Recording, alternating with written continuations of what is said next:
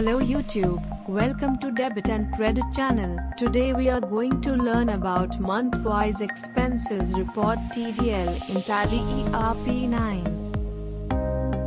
First download the TCP file. Download link given in description. Once you downloaded the file, open Tally TDL configuration by pressing Alt Ctrl T and then press F4 key on keyboard. Load file on startup should be yes and in next field paste the TCP file path and press enter. Once it's loaded you can use the TDL in Tally. Now our TDL file is loaded, so we get the menu before quit named as month-wise expenses report in gateway of Tally. Click the menu or press H to open the menu. Here you get the month-wise expense report for each ledger.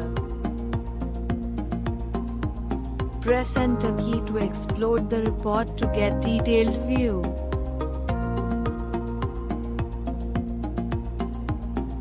It shows the voucher number, amount breakthrough. Press enter again to implode. You can explode and implode any ledger in report using enter key.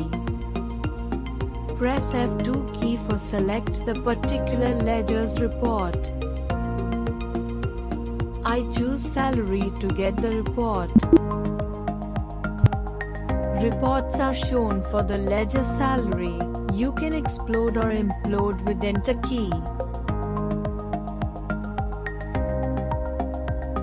You can change period by pressing Alt F2.